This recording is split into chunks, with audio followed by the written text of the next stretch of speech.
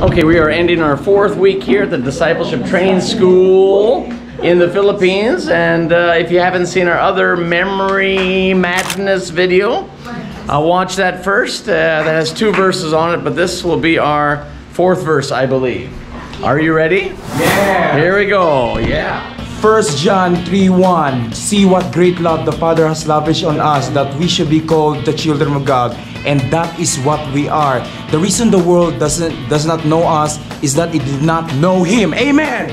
Here we go. 1 John 3 1. There, see what kind of love the Father has given to us that we should be called children of God. So and so we are. The reason why it does not know us is that it did not know it did not know him.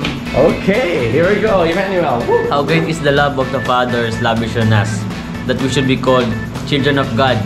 The reason why they didn't know us is they didn't know Him. Okay. Amen. 1 John chapter 3 verse 1, New King James Version. Uh, Behold, what manner of love the Father has bestowed on us, that we should be called the children of God. Therefore, the world does not know us because it, did- it did not know Him. Amen. All right. Yeah, First John 3:1 NLT version. See how very much the Father loves us that He calls us His children. And um, but uh, that and that's what we are. But the people who belong to this world do not recognize us as God's children because they do not know Him. Yeah. Wow. Okay, here we go. First John 3 1 says, See what kind of love the Father has given to us that we should call ano, ah? that we should call children of God. And so we are.